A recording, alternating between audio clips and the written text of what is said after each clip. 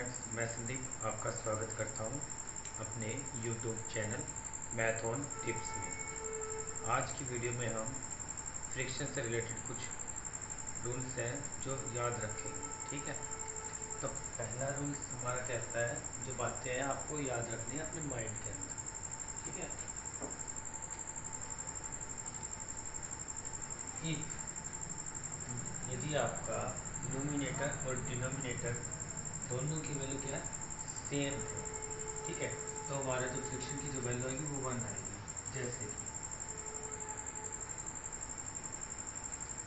four by four four one जा four ठीक है?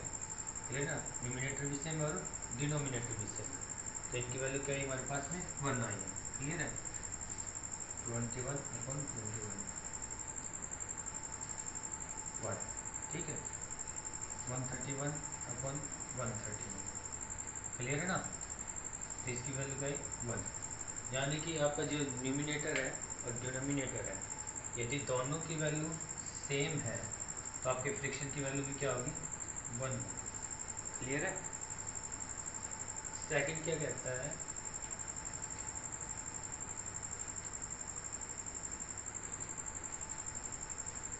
सेकंड यदि आपका जो नोमिनेटर है, उसकी वैल्यू ज़ीरो है। और जो डिनोमिनेटर है, उसकी वैल्यू ज़ीरो के जो डी है, वो आपका ज़ीरो के बराबर नहीं है। Then the friction is equal to zero तो फ्रिक्शन की जो वैल्यू होगी ज़ीरो के बराबर होगी। जैसे कि न्यूमिनेटर उसने बताया था ज़ीरो है। ठीक है ज़ीरो है। और डिनोमिनेटर कह रहा है ज़ीरो के बराबर नहीं है। ज़ीरो बाई ज़ीरो बटे में मैं फोर कर देता हूँ। ठीक है? तो इसकी जो वैल्यू है किसके बराबर आएगी ज़ीरो के बराबर आएगी। ज़ीरो बटे में वन थर्टी वन ज़ीरो के बराबर। ठीक है? ज़ीरो बटे में वन फिफ्टी सिक्स तो भी ज़ीरो के बराबर। क्लियर है? तो आपको ये बात रखनी है और ज़ीरो को यदि आप किसी भी संख्या से डिवाइड करते हैं तो उसकी वैल्यू क्या रहेगी? उसकी वैल्यू रहेगी ज़ीरो क्लियर है?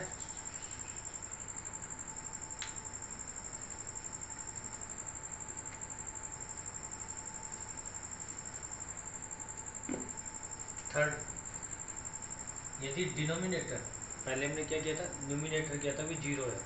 यानी कि आपका अंश की वैल्यू ज़ीरो थी उस टाइम पे।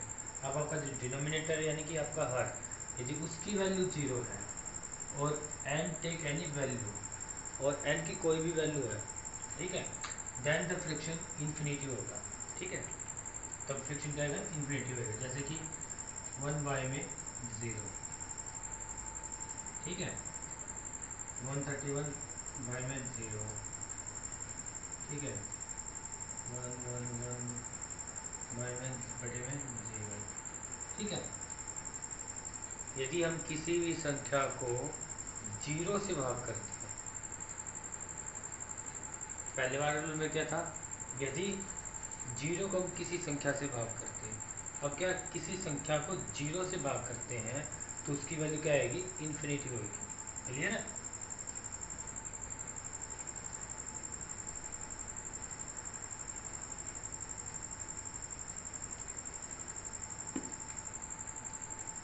नंबर फोर पे आता है when D and N are multiplied and divided by the same number then the value of friction remaining unchange ठीक है? ये कह रहा है भाई यदि आपका जो न्यूमिनेटर है और आपका जो डिनोमिनेटर है, ठीक है, उसको हम सेम वैल्यू से मल्टीप्लाई करते हैं और सेम ही वैल्यू से डिवाइड करते हैं तो उसकी वैल्यू में कोई चेंज नहीं होगा। ठीक है? जैसे कि फोर बाई फाइव है। यदि मैं इसको एक से मल्टीप्लाई करता हूँ और एक से ही डिवाइड करता हूँ। तो फोर बाई फाइव आएगा। यदि थ्री बाई सेवन है, यदि मैं इसको टू से मल्टीप्लाई करता हूँ और डिमिनेटर को भी टू से ही मल्टीप्लाई करता हूँ, तीन दोनी छः सात दोनी चौदह। दो तीन छः दो सत्य चौदह। तीन बटे सात। कोई चेंज हुआ इसकी वैल्यू में? नहीं हुआ। सेम रही। ठीक है?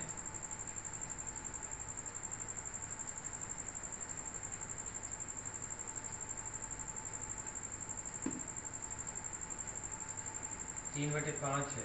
यदि मैं इसको डिवाइड करता हूँ, तीन बटे तीन से, इस कंडीशन में भी इसकी वैल्यू चेंज नहीं होगी।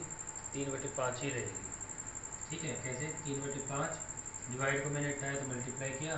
तो तीन बाई तीन था ठीक है इससे ये कट जाएगा तीन बटे पाँच आ जाएगा ठीक है? कोई चेंज हुई? नहीं। ठीक है तो फोर्थ में मैं क्या क्या बोला इसने? When D and N are multiply यानी कि जो डिनोमीटर है और नोमिनेटर है उसको हम ये मल्टीप्लाई करते हैं और या फिर डिवाइड करते हैं सेम ही डिजिट या सेम ही संख्या से ठीक है? तो उसकी जो वैल्यू होती है वो चेंज नहीं होती है। क्लियर है?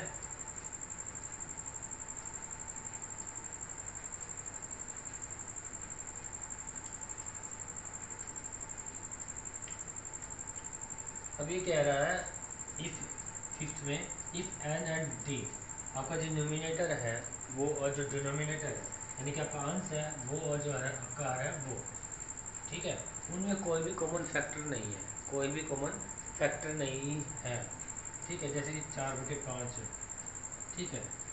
इन दोनों में कोई भी कॉमन फैक्टर नहीं है, ठीक है? तो ये क्या कहता अभी ये है फ्रिक्शन की, यानी इस भिन्न की क्या है? इसकी सबसे छोटी ट्रम्स है लोवेस्ट ट्रम्स सबसे छोटी, ठीक है?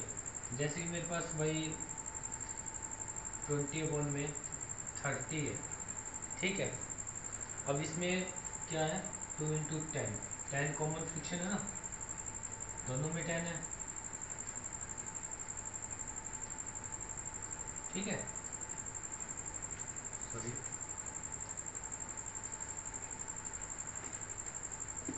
ट्वेंटी अपॉन में थर्टी है। यदि मैं टू को टेन से मल्टीप्लाई करूँगा तो ट्वेंटी आएगा। नीचे वाले थ्री है, इसको मैं टेन से मल्टीप्लाई करूँगा तो थर्टी आएगा। ठीक है तो टेन क्या है? कॉमन फैक्टर है दोनों में। ठीक है? इन दोनों से दो कट है। तो मेरे पास क्या है? टू अपन में थ्री इनमें कॉमन फैक्टर क्या है? इनमें कोई कॉमन फैक्टर नहीं है, सिर्फ़ वन को छोड़ के। भाई टू को यदि मैं वन से मल्टीप्लाई करता हूँ तो ही टू आता है। और थ्री को मैं वन से मल्टीप्लाई करता हूँ तो भी हमारा थ्री आता है। टू बाई थ्री तो ये क्या हो गया? ये लोवेस्ट टर्म होगी। ठीक है? इस फ्रिक्शन की lowest term two by three ठीक है?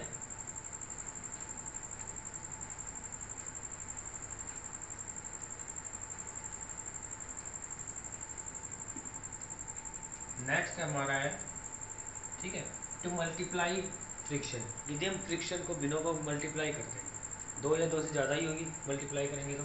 ठीक है? जैसे कि मेरे पास है फोर बाई फाइव है और थ्री बाई सेवन। ये मेरे पास दो फ्रिक्शन है, मैं इसको मुझे इसको क्या करना मल्टीप्लाई करना है। तो मल्टीप्लाई करने के लिए मुझे क्या करना पड़ेगा? जो नोमिनेटर है, उन दोनों की मल्टीप्लाई करने करनी पड़ेगी होती है ट्वेल्व फोर थ्री जा ट्वेल्व और फिर जो डिनोमिनेटर है, उन दोनों को मल्टीप्लाई करनी पड़ेगी फाइव सेवन जा थर्टी फाइव ये हमारा आंसर आ जाएगा। ठीक है? तो ये हमें कंडीशन याद रखनी है। मल्टीप्लाई करते समय बिनों की जब हम मल्टीप्लाई करते हैं तो हमें क्या करना है? अंश की अंश के साथ मल्टीप्लाई करनी है और हर की हर के साथ में मल्टीप्लाई करनी है। क्लियर है?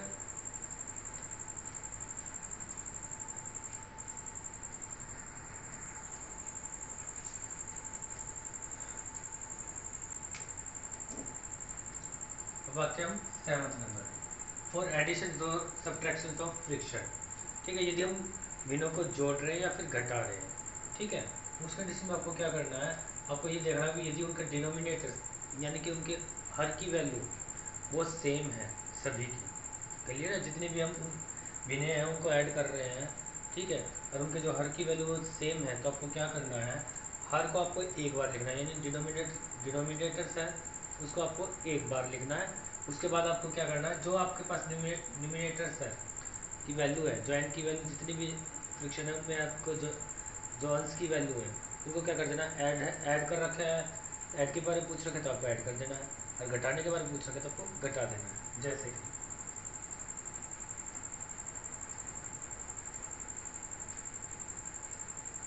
तीन बटे पाँच प्लस में सात बटे पाँच, प्लस में छः बटे पाँच, प्लस में चार बटे पाँच। ठीक है? अब इसका जो डिनोमिनेटर था वो क्या है? सबका सेम है। हम इसको क्या कर देंगे? एक बार लिख देंगे क्लियर है? सेकेंड टाइम पे आपको क्या करेंगे? इन सबको जोड़ देंगे।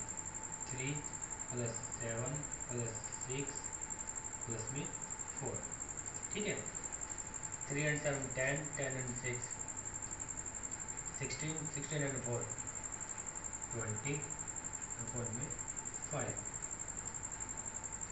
ठीक है? फाइव जा फाइव फाइव हंड्रेड ट्वेंटी तो हमारा फोर आंसर ठीक है, इस तरीके से आपको इसको जोड़ना है। ठीक है? डिनोमिनेटर सबका सेम है, यानी हार की वैल्यू क्या आपकी? सबकी सेम है तो उसको आप एक बार लिखेंगे। ऊपर जो भी संख्या है, यदि प्लस में पूछ सके तो आपको प्लस कर देनी है। यदि माइनस में पूछ सके तो आपको क्या कर देना? घटा देना। ठीक है?